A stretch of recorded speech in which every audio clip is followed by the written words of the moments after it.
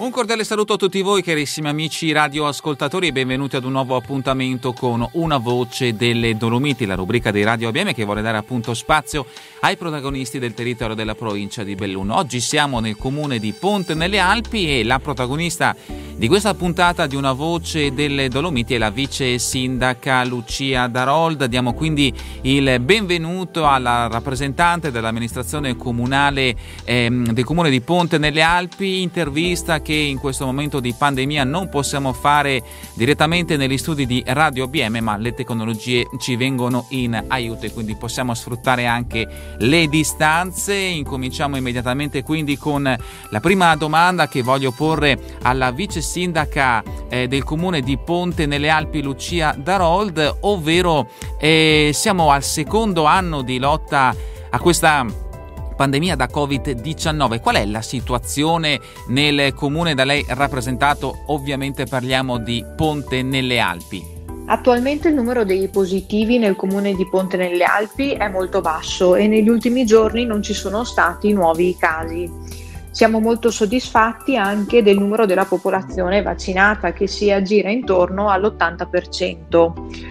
È un dato molto positivo questo e lo abbiamo potuto raggiungere anche grazie alle sedute di vaccinazione che hanno eh, organizzato i nostri medici di medicina generale con la collaborazione del, dell'amministrazione comunale che si sono impegnati affinché il maggior numero di cittadini potesse essere vaccinato nel più breve tempo possibile.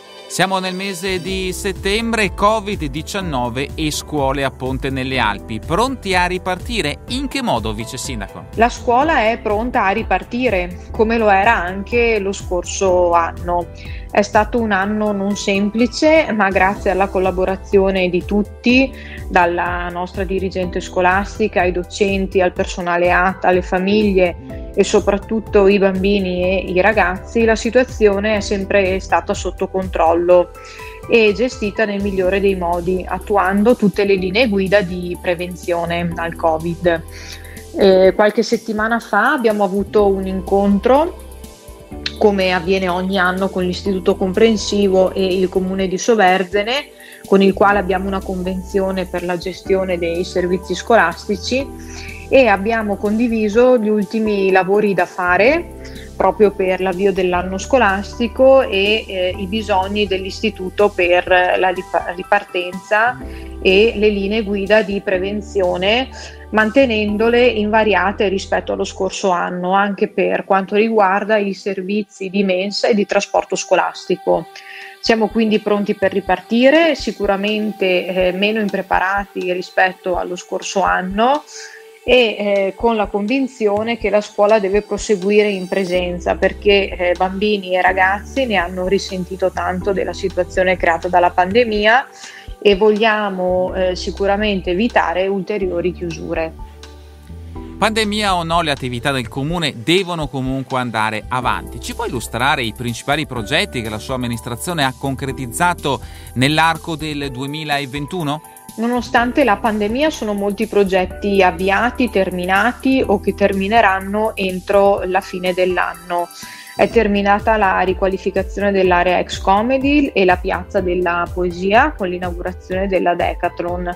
Stanno proseguendo i lavori per la sistemazione della stazione ferroviaria eh, proseguono inoltre i vari progetti in ambito sociale, il sostegno alle famiglie e alle imprese che hanno subito delle perdite durante la pandemia, ad esempio il sostegno con i buoni spesa, il sostegno economico per il pagamento della, della Tari.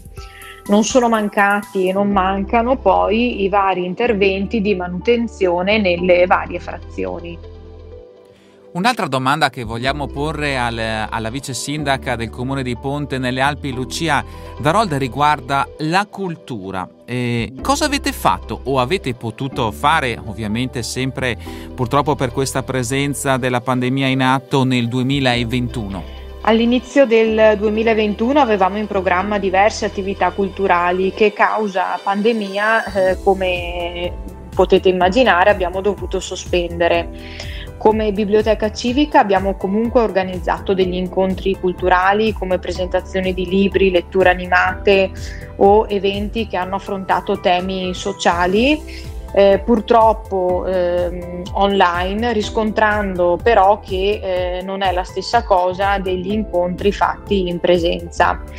Durante la primavera fortunatamente abbiamo potuto avviare qualche attività in presenza e all'aperto e durante l'estate presso la Piazza della Poesia abbiamo organizzato la rassegna Stravagaria, una rassegna di eventi culturali rivolti ad un pubblico molto ampio, eh, bambini, famiglie, adulti.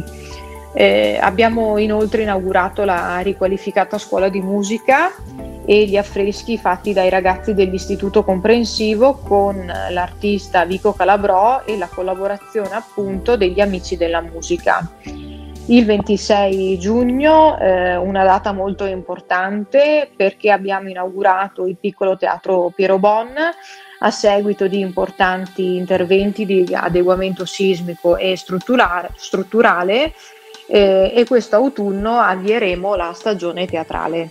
Il tempo a nostra disposizione per questa puntata di Una voce delle Dolomiti sta per volgere al termine, ma più che una domanda eh, chiediamo un saluto al vice sindaco del comune di Ponte nelle Alpi, Lucia Darolda, da portare a tutti i suoi concittadini, a tutti i suoi pontalpini residenti all'estero. Prego Lucia. Concludo salutando i pontalpini residenti all'estero che ci stanno ascoltando con la speranza che possano sempre essere orgogliosi della comunità in cui sono nati, in cui sono cresciuti e che magari in un futuro li potrà anche riaccogliere. È davvero tutto per questa edizione con una voce delle Dolomiti. Noi ringraziamo la vice sindaca del comune di Ponte nelle Alpi, Lucia Darold per il tempo che ci ha dedicato e auguriamo a lei, al sindaco Paolo Vendramini, a tutta la squadra dell'amministrazione comunale di Ponte nelle Alpi un buon lavoro anche per questo 2021 e anche per il prossimo 2022. Noi ci risentiremo puntuali come sempre domani con altri protagonisti della provincia di Belluno.